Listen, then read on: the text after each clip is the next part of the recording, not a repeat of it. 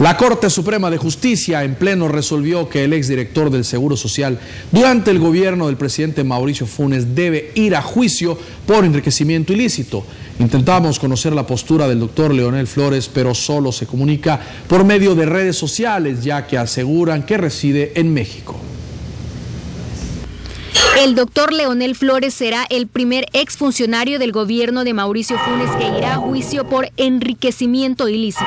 El Pleno de Magistrados de la Corte Suprema de Justicia adoptó el jueves 26 de noviembre esta resolución tras recibir el informe de la sección de probidad de esta misma Corte, que analizó las declaraciones patrimoniales de Flores cuando asumió el cargo de director del Seguro Social el 11 de enero de 2011 hasta que terminó sus funciones el 31 de mayo de 2014. Depósitos y retiros bancarios. En las cuentas del doctor Leonel Flores aparece que durante los tres años y cuatro meses que estuvo en el cargo se depositaron unos 512 mil dólares y se retiraron 367 mil dólares, pero en salarios solo le aparecen reflejados 194 mil dólares. La sección de probidad encontró que es desconocida la procedencia de al menos 313 mil dólares, sobre todo porque los ingresos que según Flores percibía del extranjero no ingresaban a cuentas bancarias. Y esos ingresos tampoco han sido respaldados porque no se pudo comprobar la veracidad de que es accionista de una empresa radicada en Virginia, Estados Unidos. Los pagos. Durante su periodo como director del Seguro Social, Leonel Flores hizo abonos de 122 mil dólares a una deuda hipotecaria e hizo pagos por 163 mil dólares a tarjetas de crédito. Esto suma alrededor de 285 mil dólares, lo cual equivale al 97% de su ingreso total en concepto de salarios y sin las deducciones de ley. Los carros comprados.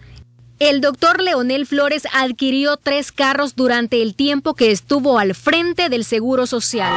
Un Mercedes-Benz año 2008 por el que pagó 60 mil dólares el 12 de abril de 2011 se desconoce el origen de ese dinero ya que no hubo retiros ni créditos bancarios en el periodo de la transacción. Lo mismo sucede con un carro Mini Cooper ese año 2010 que compró al entonces presidente Mauricio Funes por 15 mil dólares el 8 de abril de 2013 y también adquirió un vehículo Homer H3 año 2006 en 25 mil dólares el 11 de junio de 2014, cuando recién salía de cargo. La suma de todo. Según la sección de probidad, son alrededor de 608.387 dólares, cuya procedencia no se encuentra justificada, por lo cual se estimó que pueden existir indicios de enriquecimiento ilícito. La resolución de la Corte en pleno. 1. Existen indicios de enriquecimiento ilícito del exdirector del Seguro Social, Leonel Flores. 2 de juicio por enriquecimiento ilícito. 3. Se anota preventivamente una casa que el doctor Flores adquirió en la colonia Escalón. 4. Se inmovilizan cinco cuentas bancarias. Una de ellas está a nombre de su esposa, Denis Karina Hernández de Flores.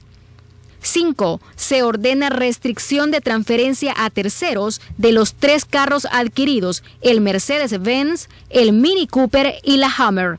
6. Se remite esta resolución a la Fiscalía para que investigue y promueva las acciones correspondientes. Antes de asumir el cargo, Leonel Flores vivió 11 años en Estados Unidos y actualmente reside en México. Por medio de redes sociales ha informado que dará pronta su postura al respecto. Wendy Castillo, para Tele 2.